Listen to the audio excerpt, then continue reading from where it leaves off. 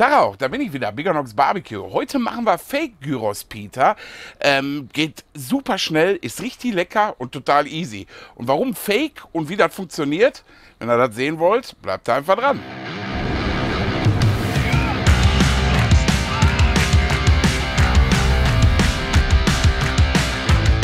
Und warum Fake Gyros Pita? Ja, fangen wir mal beim Gyros an. Gyros gehört auf dem Spieß. So, und wir machen das heute nicht.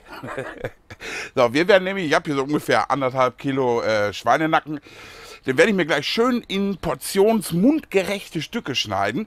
Ähm, dann werde ich mir hier zwei Zwiebeln schneiden, die kneten wir gleich richtig durch, dass das alle zusammen reagiert. Und dann später werden wir das auf der Feuerplatte machen. Und würzen werde ich das hier mit Big Tucks Gyros Rap. Big Tuck das ist so ein cooler Typ, Leute. Der hat auch einen äh, YouTube-Kanal. Ähm, wie soll ich den beschreiben? Ich sag mal so. Der hat ordentlich an einer Murmel, aber so richtig, aber positiv. Ich mag den total. Ich gucke mir gerne seine Videos an, weil der lässt auch mal was explodieren. Finde ich super. Hat aber auch mega Ahnung von Fleisch und Räuchern und so weiter. Sehr informativ, guckt euch das mal an. Und der hat mir hier äh, sein Gyros-Rap geschenkt. Und äh, ja, den probiert ihr heute aus. Damit machen wir das. Also wie gesagt, erste Fake, nicht vom Gewürz her, sondern vom Gyro, von der Gyros-Art. Gyros gehört eigentlich auf den Spieß. Wir machen es schön klein, vermengen das gleich alles und dann geht es auf eine Feuerplatte. So, der zweite Fake ist die Pita. Ich sag mal so, wie soll ich das erklären? Ja, ich sag mal, Backen und ich, wisst da, das funktioniert irgendwie nicht. Also ich bin da, ich verhau da alles. Backen ist einfach nicht meins. Und wir haben mal vor ein paar Jahren, weil wir uns die Pita selber machen wollten, nach irgendeinem geilen äh, Rezept geguckt. Und wir haben amerikanisches gefunden, was total easy äh, sich angehört hat. Und wir gedacht haben, komm, da probieren wir einfach mal aus. Problem bei der Geschichte war nur, man brauchte selbstgehendes Mehl. Und da haben wir so ein bisschen nachgeguckt und das war ein bisschen schwierig. Man kriegt es, man kann es bestellen, ist auch ein bisschen teurer. Ähm, aber man kann es sich auch selbst mixen. Meine Frau, die mixt das immer auf Vorrat selbst. Ähm, das ist einfach nur Mehl, bisschen Natron ist da drin, ne? Ähm, Backpulver ist da drin und Salz. Das ist schon alles. Das im richtigen Verhältnis. Ich stelle euch das Rezept von der Pita und äh, von dem selbstgehenden Mehl mal einfach hier unten als PDF-Dokument unter das Video. Dann könnt ihr euch das genau angucken, wie das funktioniert. Und dieses selbstgehende Mehl, jetzt kommt die zweite Besonderheit, wird einfach mit einem Joghurt vermixt und mit Backpulver. Wir haben das einfach beim ersten Mal hier mit diesem, ich weiß gar nicht, spricht man es Fage? Nein, nein, es steht da drauf. Es steht sogar drauf, wie man es ausspricht. Ja. Fayet, genau, Fayet. Mit dem Fayet-Joghurt äh, ähm, gemacht, 0,2-prozentigen. Ähm, zum einen natürlich gut für die Figur, obwohl ich glaube, ihr seht, dass ich da nicht so unbedingt drauf achte. Aber damit hat es halt super funktioniert und ist dementsprechend natürlich auch noch eine coole ist das Low Carb? Nee, Low Carb nicht, aber ist kalorienarme Sache, nennen wir das mal so. Es ist, glaube ich, ein ganz gutes Weight Watcher-Dingen. So. Daher hast du das? Ja, okay, also. Da haben wir. Bei dem amerikanischen Ding war halt noch das Problem, äh, dass das immer, das ist ja immer in so Cups angegeben. Meine Frau, die hat das mal umgerechnet, wie gesagt, hauen wir euch hier drunter, dann habt ihr das auch. Das wird hinterher so eine richtig klebrige Masse, die musst du dir dann halt wie so Pita-Brote platt machen. Und dann geht es einfach auf die Feuerplatte und dann werden die von jeder Seite einfach angegrillt und dann sind die fertig. Schmecken super geil. Wir äh, machen das wirklich oft. Und auch in der Küche in der Pfanne. Das funktioniert nämlich auch. Also ganz, ganz wichtig, das könnt ihr nicht nur da machen, sondern auch da. Ne, so. Ja, und im Endeffekt, das war schon. Tzatziki heute zeige ich euch nicht. Rezept stelle ich euch aber auch hier drunter, weil das macht gerade die Tochter drin. Die wollte das heute für uns machen und dann soll sie das machen. Ähm, aber wie gesagt, Rezept schreiben wir euch auch drunter. Ist total easy, schmeckt einfach nur geil und äh, das benutzen wir. Es ist heute wieder schön knallewarm. Ihr seht es vielleicht an meinen Schweißperlen. Deswegen höre ich jetzt auf zu labern. Wir fangen an, schneiden die Zwiebeln, quetschen die ein bisschen durch, schneiden das Fleisch, kommt dazu, bisschen Rub drüber, gut durchmixen. Nochmal eine Stunde, zwei im Kühlschrank stellen, damit es alles so ein bisschen reagieren kann. In der Zwischenzeit machen wir uns hier die Pita, den Pita-Teig. Die eigentlichen Fladen machen wir uns erst kurz, bevor sie auf die Feuerplatte gehen.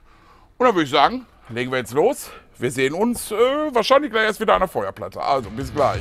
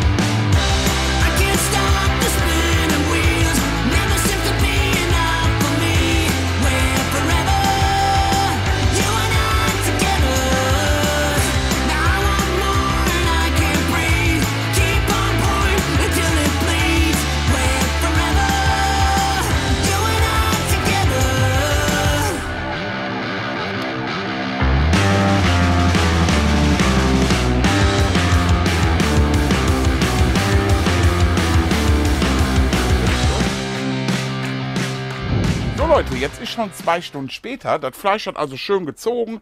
Vor einer halben Stunde haben wir dann gesagt, jetzt machen wir mal langsam die Feuertonne an. Da seht ihr im Hintergrund, die ist jetzt schön knacke heiß. Wir gehen jetzt so vor. Hier haben wir ja den schönen Teig. Ich werde jetzt so ein bisschen weniger wie eine Handvoll nehmen und werde den ersten jetzt mal so vorbereiten. Ähm, dann gehe ich auch schon rüber zur Platte und fange an, ähm, die, ja, ich nenne sie mal Pita-Brote, ne? Fake-Pita-Brote, ähm, nach und nach schon mal auf der Feuerplatte zu machen. Die kann man schon schön fertig machen, beiseite legen, hinterher nochmal heiß machen. Ähm, das ist absolut in Ordnung. Und dann kommt das Fleisch drauf und dann geben wir Gas. Und wie gesagt, ich mache jetzt nur den ersten und lasse mir dann von der Frau die anderen machen und immer hinterher bringen. also, ich lege mal los, kommt mal ran und dann sehen wir uns gleich wirklich an der Tonne. Okay, also.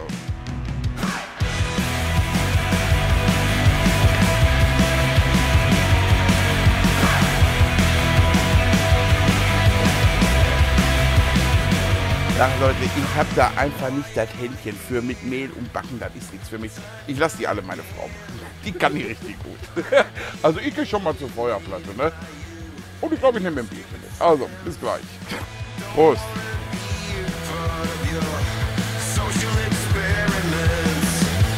I'm just awkward, yeah. I'm the elephant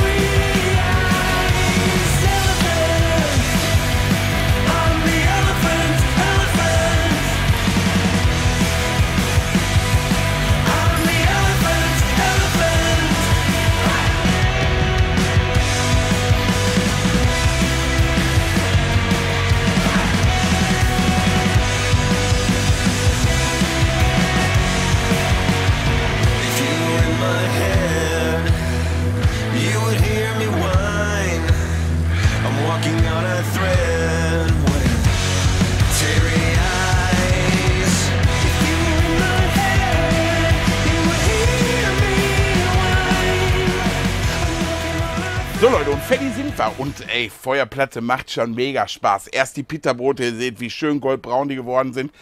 Ja, nur meine Fake-Pita-Brote, aber die sind echt geil dafür. Und dann das Gyrosfleisch, ach geil, auf der ganzen Platte. Das macht einfach Spaß und Laune. Und äh, Taki, wenn äh, das Gewürz so schmeckt, wie es riecht, dann ist das Bombe. Boah, das riecht fantastisch hier. Und ich würde sagen, wir labern auch gar nicht groß rum. Wir bauen den jetzt zusammen. Bei mir auf dem Pita, Gyros Pita, kommt nur Tzatziki, Fleisch und das Brot und das Wart. Ich mache da keinen Salat drauf. Das ist für mich, die Zwiebeln ist der Salat. Also, kommt mal ran, wir bauen zusammen.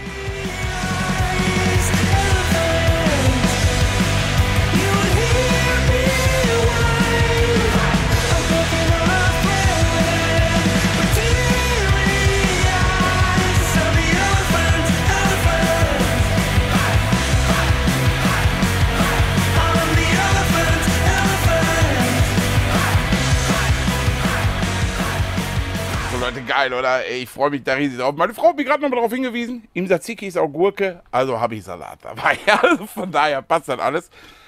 Der Hund hier übrigens, der arme Hund, der heute vom Metzger so ein Apparello an äh, Knochen, nämlich die Nackenknochen bekommen hat, die wir heute ausgekocht haben, die wird der gleich kriegen. Der freut sich auch schon auf. So Leute, und ich würde sagen, probieren ist angesagt. Jetzt wird das hier einfach so zusammengeschlotzt. Und äh, guten, ne?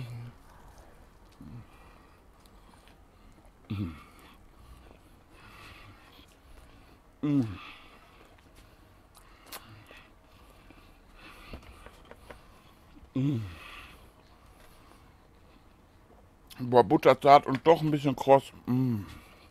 Ich nehme mal hier nur Fleisch. Boah, Taki, dein Gewürz. Der Oberhammer. Ich verlinke euch den mal hier drunter. Mm, geil. Mm. Mm, da guckt aber einer traurig hinter der Kamera. Bist ein bisschen neidisch? Mega. Mega, sagt sie. Mm. Boah, ist das lecker. So, der Haufen ist natürlich auch für die Kids und für die Frau. Ach komm hier. Komm, nimm ein kleines Stück. Wenigstens mal zum Gewürz probieren. Das heißt, die wollen sie jetzt auch die Pitas hier machen. Oh, da freut sich jemand hinter der Kamera. Zeig mal. Super Geil. Gewürz. Boah, richtig lecker. Schöne Schärfe auch. Danke, Taki. Danke, Taki, sagt sie. Also Leute, wie gesagt, eine geile Sache mit der Feuerplatte schnell gemacht, aber auch in der Pfanne, auf dem Grill mit einer Plancha, auf einer gusseisernen Platte. Das könnt ihr überall drauf machen. Das ist wirklich auch wieder eine geile Sache oder in einer Gusspfanne. Also da gibt es tausend Möglichkeiten. Super geil. Wir freuen uns, das jetzt hier reinzuballern. Ähm, ja, mir bleibt nichts anderes zu sagen. Abonniert meinen Kanal, aktiviert die Glocke und wir sehen uns bei den nächsten Videos. Und boah, rein damit und tschüss. Ich hab 20 Liter. Boah, ja gut, ey.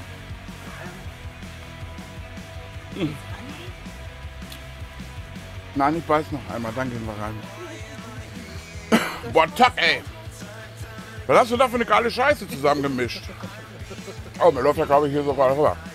Mega! Boah, super, echt gut, ne? Ich mal probieren. Hm? Gleich. Gleich drin. Warte, einmal bei sie noch. Hm. Okay, Leute, ist ja schon wieder aus. Ich muss rein, sonst killen mich hier. Also, bis gleich. Äh, bis später. Tschüss.